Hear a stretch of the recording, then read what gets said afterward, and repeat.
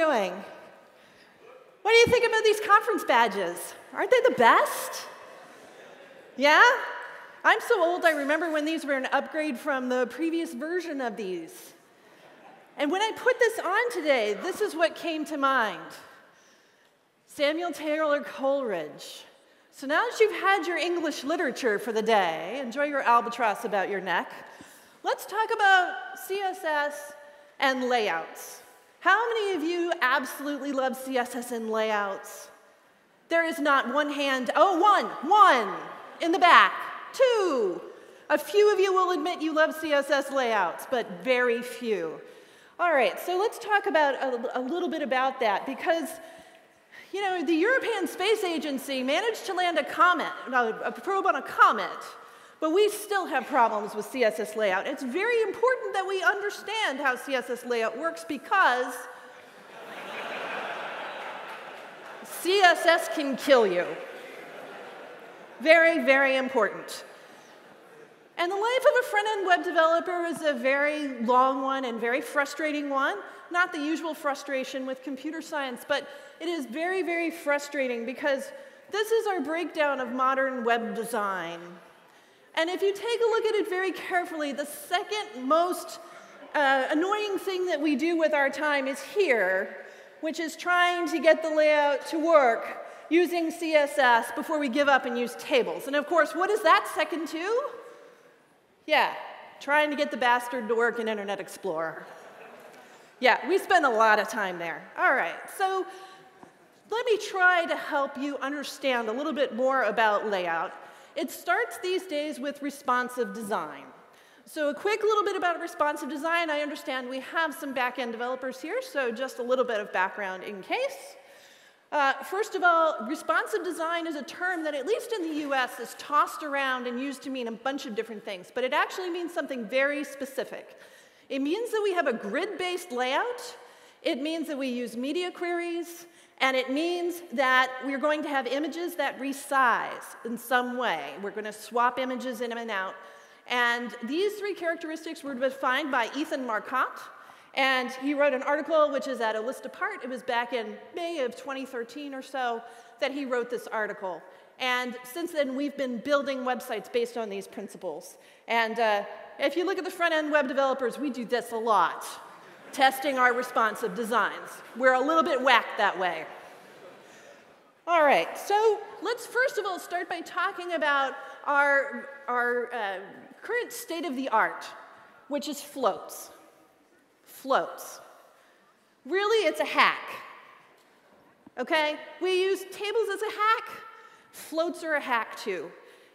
Floats were never designed to be used for layout. They were designed to shove an image to the side and wrap a little bit of text around it. And somehow we've evolved them to use them for our full layout.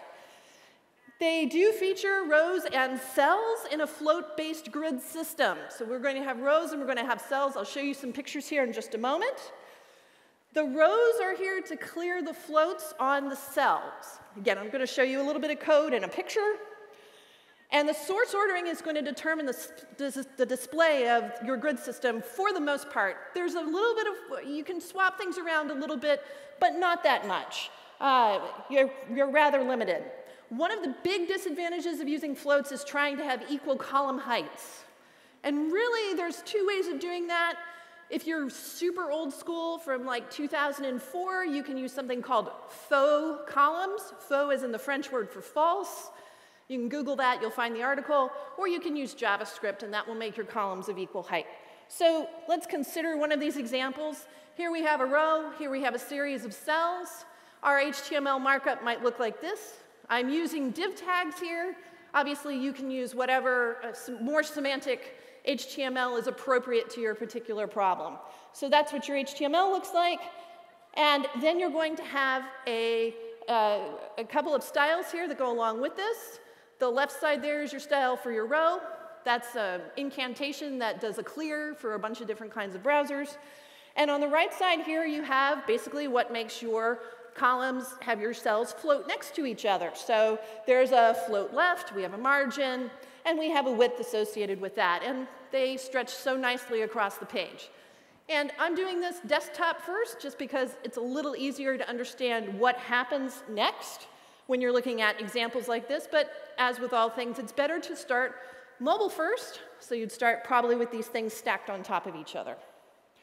All right, so then we're going to move on to this. Maybe we go to a tablet dimension, we throw a media query in here, and maybe we change the width of our cells. And then these are going to stack on top of each other very, very nicely like this, provided that everything is a perfectly equal height, and then the floats will work very nicely, right?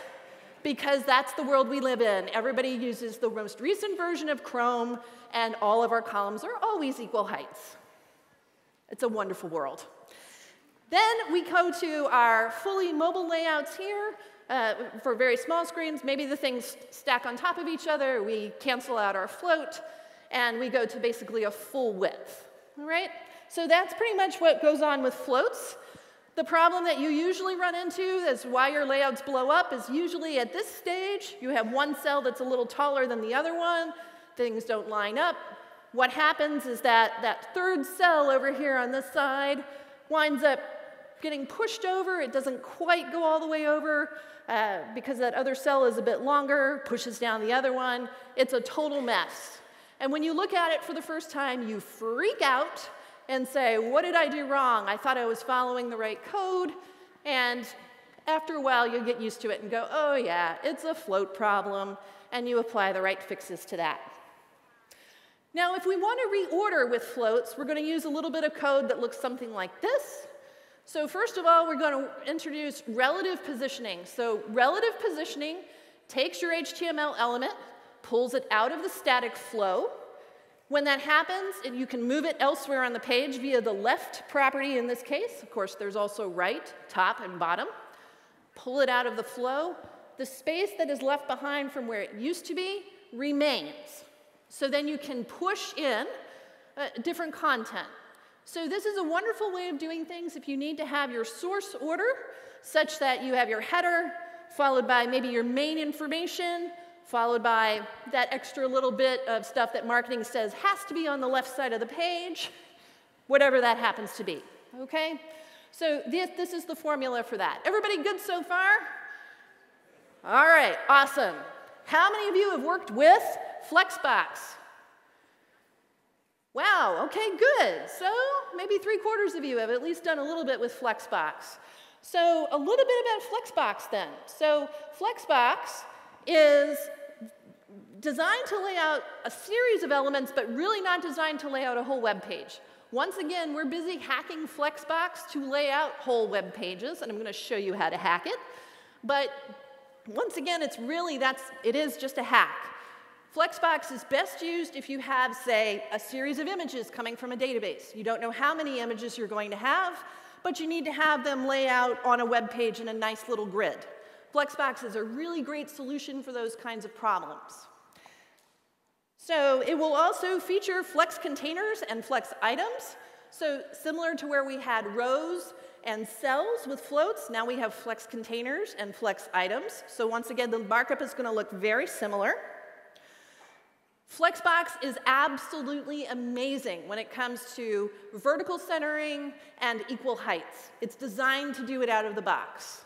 So yay for that. And this is one of the big advantages of Flexbox and why a lot of front-end developers are starting to use it.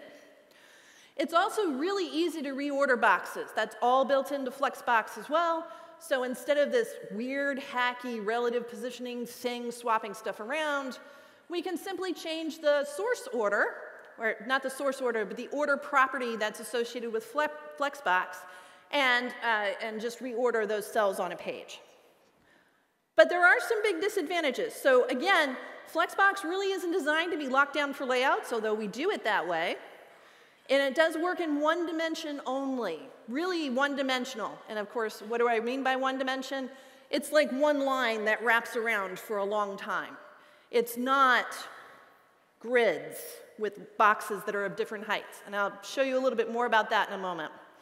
The other part about it is poor Flexbox has gone through so many syntax changes, it's very, very sad. So here's the three versions of Flexbox.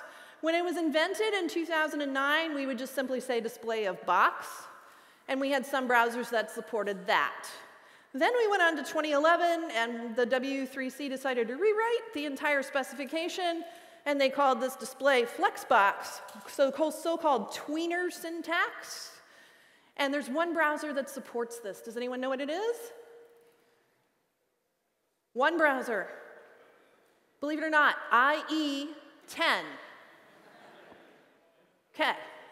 And then, most recently, this is the current syntax display of Flex, and a lot of modern browsers support that. Uh, so you may have to still use some prefixing in order to display in a browser, and again, if you're not familiar with prefixing is, it looks something like this. So you're going to display, the, these display properties are prefaced by a hyphen and something that's specifically targeting certain kinds of web browsers. Okay. So the current support for Flexbox, as usual, our, our old friend is the usual culprit. Uh, less than IE9, not supported at all. Um, IE11 and Edge has full support, but it's really buggy, okay? Uh, and then pretty much everything else is supporting the current syntax. You're welcome to take a look at caniuse.com, always a great resource for finding out what the most modern um, support is. So here's what our code looks like when we're working with Flexbox again. We have a row, we have cells inside of it. That, that HTML looks shockingly familiar because it is. It's basically the same markup that we had for floats. But the CSS, of course, is different. So on the row itself, we're going to set our display to flex. Then we're going to set the flex property to 0, 1 auto. This is the grow property, the shrink property, and the flex basis property. So this is going to determine uh, how the boxes grow in size. As you make your screen bigger, do they grow proportionately equally, or do some boxes grow faster than others? Kind of an interesting thing to think about. Uh, and then flex flow, so it's very easy to reverse the order of flexbox. So if you have one, two, three, four, you can easily reverse that to four, three, two, one by changing the flex flow property. You can also center these, add a little bit of margin to make it look pretty, whatever it is you want to do. The individual uh, cells inside of it, which are the flex items, will probably have a series of these. This code is a little misleading. You're going to have media queries for each one of those flex properties. I got lazy trying to write it all in one slide, so uh, there you go. That's the mobile version, the, the uh, tablet version, the phone version. Wrap them up in some media queries, and you'll be good to go. Uh, so uh, we just changed the flex basis property here. Now, this is interesting, and this is really important. So Normally, when we work with floats, we work with the width property. You can think of the width property as being an absolute value. Even if you use 24%, you're talking about 24% of something, and it never changes. With Flexbox, these numbers are flexible. So if it doesn't quite get to 24%, it'll be close to that, okay? And that's the way Flexbox works. That's the flexible part of Flexbox. If you want to rearrange the columns, the code's even easier. We take order, the order property and we just change the number. So take number one and number two and swap them. Done. So simple. All right, so how are you doing with Flexbox? Quick little bit. Whew, lots of CSS thrown at you all at once. All right, so then the part you've all been waiting for, of course, is the grid system. And how many of you have worked with CSS4 Grid? Nobody. Awesome. I'll tell you why none of you have worked with CSS4 Grid. What's the browser support for it? Zero. Like all the best CSS, it's not supported.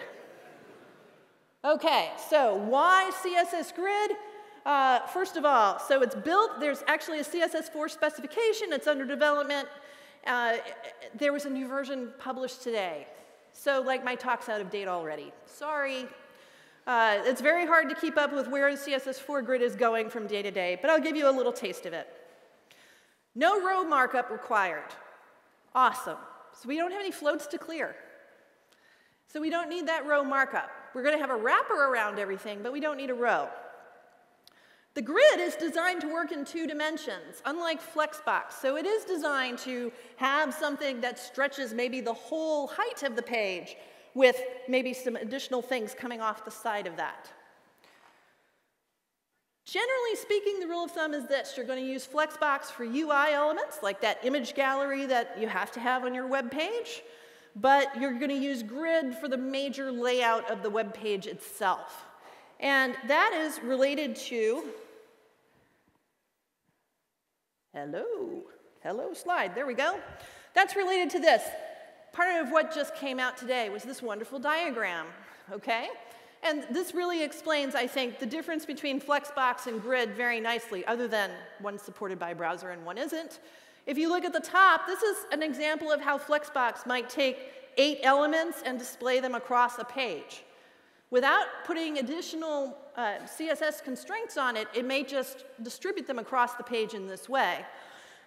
As terms of the grid, though, as you see here, this is more like table-based layout, where you could have multiple heights, equal heights, things call span, row span. Anybody remember those days? Yeah, it's back again, baby. Everything old is new. It's awesome. All right, so what you remember about tables and layout kind of applies to um, the, the grid specification. As I said, there's almost no browser support without setting flags. So this is something you can set inside of your browser Go to this web page. You can read about exactly how to turn this on in Chrome or Firefox. Be warned that it is still very buggy in terms of looking at the display of, of these, uh, uh, putting grid in these web pages. You'll find bugs all over the place. And I'll show you some of those in a moment also. okay, um, there we go. It's buggy. And there we go. All right, so here's what your HTML might look like. Notice that there may not necessarily, actually I left off the tag for the wrapper. Imagine there's a tag, a div tag for a wrapper around all of those divs there. You do actually still have that in place. So you have a wrapper, and this time notice I've changed my classes. So I have individually named cells in this particular case that's gonna wind up being important for doing grid-based layout. Now there are some selectors that are under construction, some pseudo classes that are new that you'd be able to select uh, certain cells in this particular lineup. But for the moment, this is probably one of the easier ways to select individual cells for your grid-based layout is by class. Obviously, all the usual selectors apply as well. And the wrapper div, this is what the markup is going to look like. We'll say display of grid, and then we're going to have something called a grid gap. How many of you go, oh my gosh, she just used pixels for the grid gap? I can't believe it. The reason I did that is because percents don't work. Ask me how I know and how long it took me to figure that out. Uh, so those are still buggy. So yeah, you're right. You should probably be using percents here or ems or rems or some other relative unit. But pixels are what works in browsers currently. And obviously the grid gap is what? The gap between the grid cells. So it's really, really easy to lay this out. How much space do you want to have between each cell? And then what we're going to do is, uh, this is one of the syntaxes that are available to you that you can use. So I'm going to have my four cells, just in the interest of doing the same kind of example each time. We have our four cells here, and we're going to start counting from the left side. We're designers, so we start with one, not zero. And we count over going to the right, one, two, three, four, five, okay? So when I say call one, the grid column is going to start at 1 and go to 2. When I say call 2, it starts at 2 and it goes to 3. Make sense? Pop quiz. What is it for call 4? 4 to 5. Exactly. I ran out of room. So I just thought I'd ask you. Okay? 4 to 5. That would be call 4. All right, so let's do a little bit more interesting example. How about we have this layout? Okay? So now we need to specify both the columns and the rows. So once again, we're going to use a similar kind of syntax. For call 1, it's going to stretch from the very top to the very bottom, one, two, three. And then the uh, call 2, we count over, 1, so it's going from 2 to 3. And the other one's going from 2 to 3, but their heights are different. One might go from 1 to 2, the next one from 2 to 3. And I drew it this way specifically. It is possible that you have the first row might be a little shorter, the second row might be a little longer. Notice how they all wind up being equal heights at the end? That's not a bug, that's a feature. Woo! No more JavaScript for making equal heights. It's all built into Grid, which is great. Uh, just so you're aware, there is um, some alternate syntax that's available for this. If you take a look at Rachel Andrews' site, which is gridbyexample.com, she has, uh, today I looked, 35 examples. And uh, you can take a look at all of those, and, and um, it's a wonderful resource to work through. But there's another way of doing this with named grid areas. And just in the interest of time, I didn't have time to cover all of this, uh, all of the different kinds of things. For whatever reason, the numbers make sense to me. Hopefully, you designers, it makes sense to you too. But in this type of syntax, what you're going to be able to say is you define what the header is and what rows and columns it's going to cover, basically. So I have a header, I have a footer, I have an aside, and you can call these by whatever names you want. So you also have George and Mary and Sarah, whatever the names are, and you can associate um, uh, styles with those as well. Okay, so that's our alternate syntax. Reordering is also very easy. So here's an example. I'm going to put this in a little bit more detail. So I have my wrapper around the whole thing. We want to be sure to put our HTML in the correct order that we want search engines to read it for accessibility purposes and so forth. And so the correct order is we want the header, the site identification, followed by the main content for whatever it is that you're reading about. In this case, I'm assuming it's some kind of article. And then at the end, we're going to put the aside. So the ads, the quotations, the if you like this, you might like something else. That's all going to be in the aside that comes later, okay? But we want it to display this way. All right? So this is my reminder to show GitHub.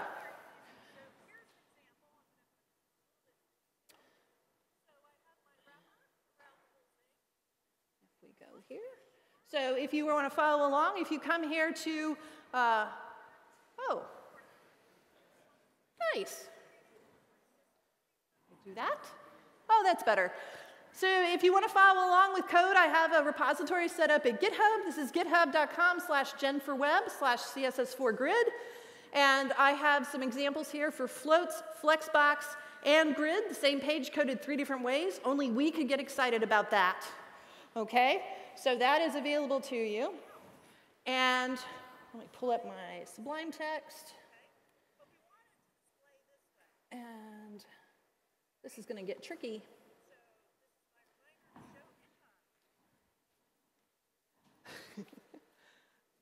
Grab the bar up here. Try coding over your shoulder sometime. It's really awesome. Um, okay, so then you're going to come on down here to the bottom not do that. This is going to be tricky, guys. Oh, jeez. I don't know if there's some way the tech people can make this a little easier for me. All right, so I'm going to open up. This is my reordering example. So here, I'll just do it this way. Here's the code. Uh, so here's my div with the class of header. Here's my header. Here's my article.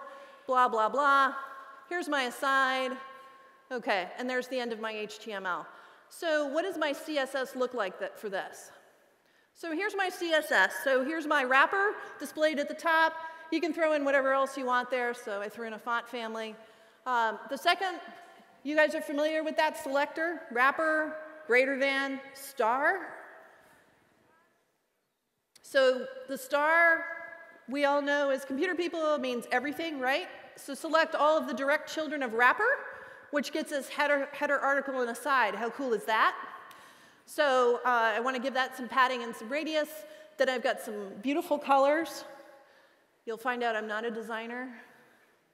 And then, um, and then I have some media queries. So I want one set of grid layout for one media query, and I want another set of um, grid specification here laid out for the second media query.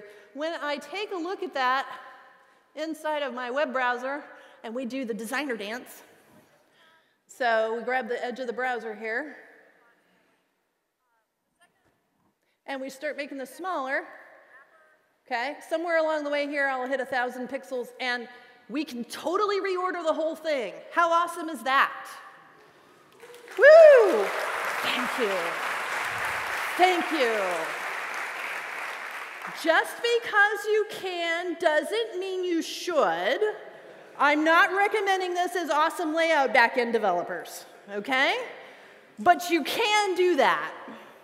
All right, and then the last part, if you looked at my media queries, you'll see that I said greater than 1,000, greater than 750 or 650. What happens below 650? Anyone know?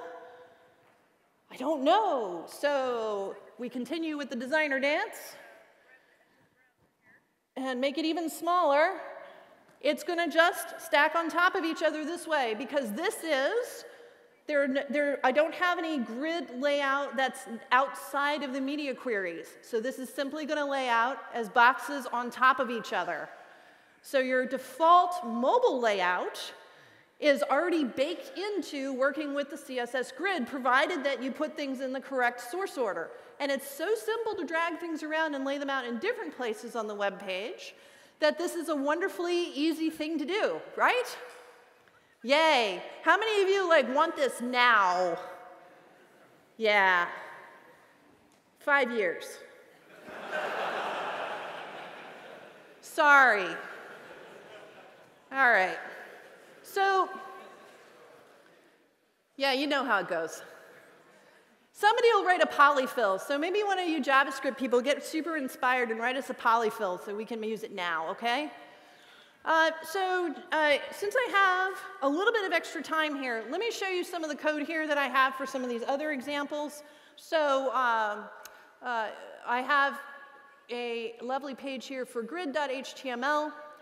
Uh, I'll compare that with flexbox.html. So here's my flexbox markup for um, a web page. And I'll show you what that looks like. Let's see. I think that's this one here. Okay, so this is, yeah, that's, this is the Flexbox page. So here's a nicer layout that I have going on here. This looks like a web page you might be coding today. And as we start to shrink it down, uh, of course, things will shift and stack on top of each other here. Okay, and as I shrink it down further, There we go. And now, of course, everything stacks on top of each other as you'd expect. So how does that get coded? Um, that's over here. So here's my HTML for my Flexbox layout. Uh, as you see here, I'm doing some, some um, I'm calling it push and pull because I'm recycling the same HTML that I used with my floats, but we're not really pushing and pulling here. We're using the order property to reorder things. Uh, down here, I wind up having to nest a grid. So here's my nested grid. I have another row inside that has my four uh, features here inside of this. And then I have my aside out here and my footer. So when I take a look at the CSS associated with that, here's what that looks like. So pretty much the elements that you saw before here. Uh, we have the flex property on the row. I've put in some margins here. We can do some reversing stuff if you want. Um, then, then we go to our different devices. So our medium devices are going to have different flex properties for their different widths. And then down here for my large devices, I wind up with a different set of numbers for those. Uh, and then, of course, I also rearrange those columns using that order property down there on the bottom. So that's the Flexbox side of this. So the grid side of this just to compare, here's your HTML. Notice that I managed to pull out all of those div class equals row, okay? All I need here is the one div just after the body tag on line 11, that the div with the class of wrapper. And then after that, look at that beautiful semantic markup. Aren't you guys happy? Oh, so awesome, okay? And um, so we have our button, um, down here, I've left the div with a class of row inside of it because how would you lay out these four features? Would you use grid to lay out those four features? Probably not. You can use Flexbox to lay out those four features. Ah. So uh, that code will be a little bit different. So I'm using Flexbox to lay out the four features here. And then we go to our aside. So again, nice, clean, simple markup. And uh, so if we look at the CSS for that, grid.css, here's what that looks like. Uh, we have our wrapper, our row, our row aside. Uh, so that stuff up here, this is for that, that row um, inside of the grid system for those four feature boxes, okay? And I have to put in a media query to treat those. And then on my large devices, though, notice how I did this. I did large devices. Uh, I've got an actual grid-based layout. Small devices, I didn't put in anything. It's just going to collapse. So, uh, and that's what I thought worked for this particular layout. So when we take a look at that page, um, let's see, I think it's this one.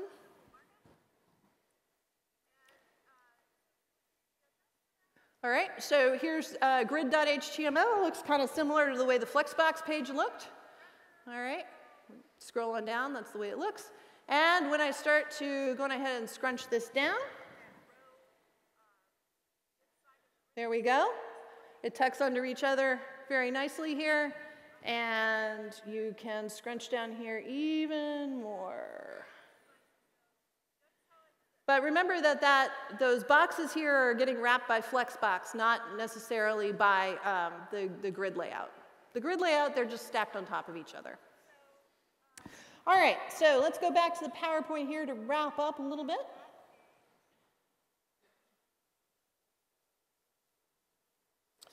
All right, that's my code example. So, current recommendations. Current recommendations. Uh, first of all, if you needed browser support, you can never go wrong with floats. Sorry. In the US, the US government still has to support Internet Explorer 7. If your governments are similar to that, floats. And wait like 10 years. Maybe, maybe you can finally use Flexbox. Um, anyway, if you are okay with a few prefixes and learning something new, Flexbox is where to go. If you haven't started learning Flexbox yet, go learn it. This is going to be the job skill you're going to need to have for 2017. I think that's where the tipping point's going to happen. I think you're going to see a lot more Flexbox happening out there. Uh, evidence of that. Uh, you're all familiar with Bootstrap? Yeah? Love it or hate it, they just released Alpha 4. In Bootstrap 4, there is a Sass variable you can toggle. It will toggle between a float-based grid system and a Flexbox-based grid system. How cool is that? Same thing is true with Zurb Foundation, if you're familiar with that framework. They also have a Flexbox-based uh, grid system baked into their framework. So I think you're going to see more Flexbox stuff happening here. And keep waiting for CSS4 Grid. It'll come real soon. Uh, we have to get rid of all the old browsers first, as usual. And uh, in the new browsers, we have to settle down the spec. The new browsers have to start running it without flags set. So like I say, five years. Um, but in the meantime, of course, we all know that, oh, here's my recommended resources. I apologize. Uh, so if you want to go read more about the uh, CSS4 grid, where it's going, where it's at currently, um, here's some places you can go take a look at that. And then finally, of course, we all know that CSS is awesome. So keep loving CSS. And I would be very happy to take your questions. Thank you. I think you kind of answered this one, but somebody asked, as grids aren't available yet, yes. Would you recommend using floats or Flexbox right now? Yes. Floats, if the browser support is something that is really important, uh, or you have to support very old browsers. Flexbox is going to be where it's all going to go. And I, like I said, I think it's going to start pivoting in the next year or so. Uh, probably two years from now, we're, we'll hopefully, hopefully drop floats as a, a, way of doing things. We'll just be using Flexbox. Now is the time to learn.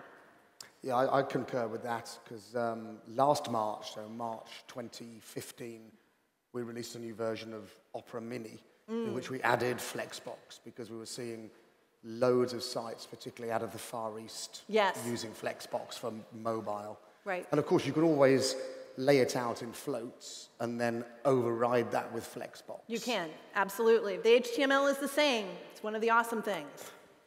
Great. Uh, you mentioned that the spec's changing. Mm-hmm.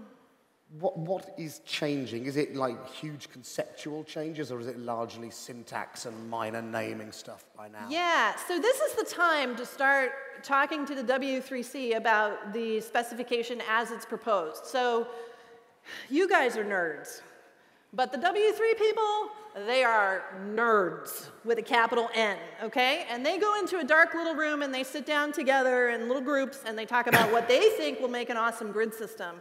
They aren't necessarily taking their specification and testing it with real world examples. What actually makes sense in terms of the real problems that you are working on from day to day, as opposed to academically speaking, what are the kinds of things we need to include in a grid system? So uh, this is, when they talk about making changes to the specification, this is what happens. You need to look at the specification as it is now, try out some sample pages, fiddle around with it, see how it works, see where it is awkward to use, see where you need something else. Like, like I said, I don't think it's ideal to have to put a class on every single one of my grid cells to specify how I want it to lay out. I would prefer to have some selectors that would allow me to select multiple cells at one time. And so those are the kinds of bits of feedback that the W3C is looking for right now uh, to, to further hone that spec. It could be that you hate those numbers that I used, you love grid areas instead. So again, these are all things that are in flux. Now, what is going to work best? What can we come together and agree is the right thing to do? I know that one of um, Rachel Andrew, whom you mentioned, she's a friend of mine, she was suggesting that the reason that grids aren't available yet is the W3C and the browser implementers wanted to avoid the Flexbox problem of yes. three different syntaxes yes. out there now. Yes. Um, I, I, would completely agree with that. We don't, we don't want that to happen again. I mean, would it have been great, like 2010, we could have started using Flexbox? That would have been awesome. But because of all of the, the issues and problems with the different syntaxes, uh, we've wound up having to wait until now, many years later. So we want to avoid that with the grid. And I know that um, about 12 months ago, there was lots of talk saying that the people who write the spec, as mm. you said, are nerds, were using terminology that wasn't the same as the terminology that designers use. Yes, absolutely. Has that been resolved, or? Uh, I think that's still in flux. Uh, we have little things, but it's the little things in life. Starting with one for counting instead of starting with zero. It's those kinds of little things that, uh, that designers, as we know, think very differently from developers. And, uh, and so it's often the developers who develop these specs. So we need to make sure that whatever we come up with makes sense to designers and how they think. Another question, um, and again, I think I know the answer to this, but I want to hear what you, you think. Okay. Is it possible that Flexbox might be removed like uh, object.observe was or something like that, like taken away from the specs? Or taken away I, I doubt that. I doubt that. I doubt that highly. Uh, Flexbox has wonderful applications. Like I said, you have a database. It's full of something over and over again. You don't know how many of those things are. You need to lay it out on a web page in some kind of coherent uh, fashion. Flexbox is perfect for that. So um, I, I, don't see Flexbox going away. Now, if you read the Flexbox uh, specification, they'll say it's still under development and it hasn't been fully adopted yet. Um, but I, I, think they're pretty much there. Would you, would you tend to agree with that? I can't see it ever being removed because it would yeah. break too many sites. Yeah, it would at this point. I mean, Bootstrap is going to use Flexbox. I mean, that's it. We're done. Excellent. Uh, um, the last question. When you were dating Neil Armstrong, yes. did he ever sing Fly Me to the Moon to you? Uh, no, actually, he said that was the worst song ever. Yeah, he did, he, if, if that song came on the radio, he would fly into this mad rage. Really? Uh, oh, yeah, it was awful. Yeah. He, he really preferred Boy George. You heard it here first. Ladies and gentlemen, Jen, Jen Kramer.